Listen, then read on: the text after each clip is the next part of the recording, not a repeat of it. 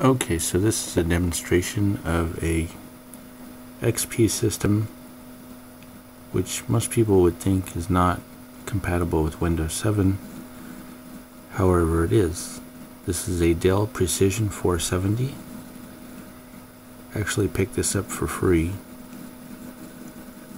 and uh, it was a challenge, but we did get Windows 7 64-bit installed. Windows 7 Professional.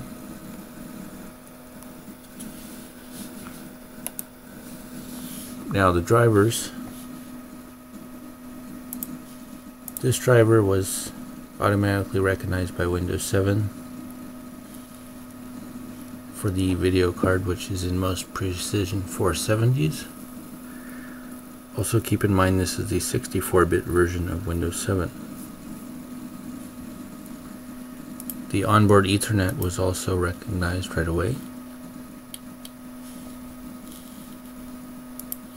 The sound card was not.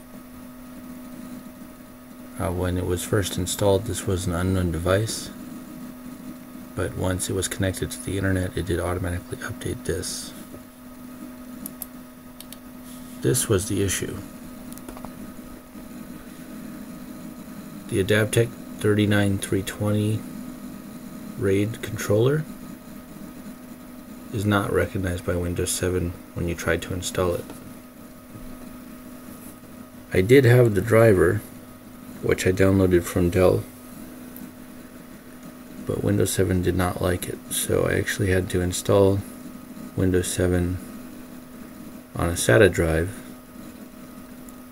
with the driver,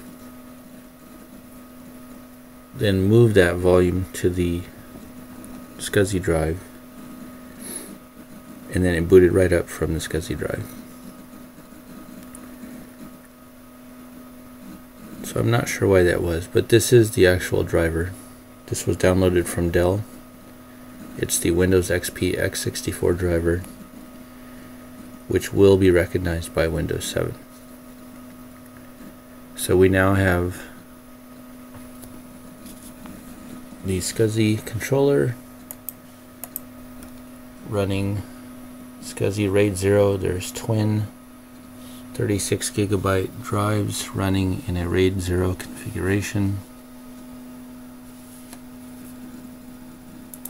You can see here.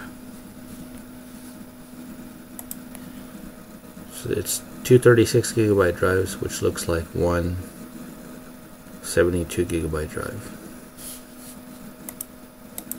Everything running smoothly.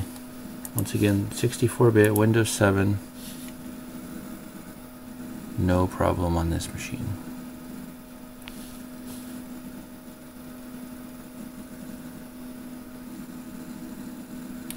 A little bit slow because there's hardly any memory but the Precision 470 will take up to 16 gigs, so just needs to be upgraded. There's one CPU in here now, it is capable of two, 64-bit.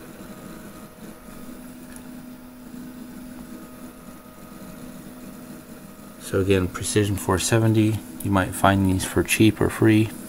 I got this one for free. And it would be a pretty capable little Windows 7 server or high-end workstation to play with. For more information about XP to Windows 7 conversions, visit www.xp27.com. Thank you.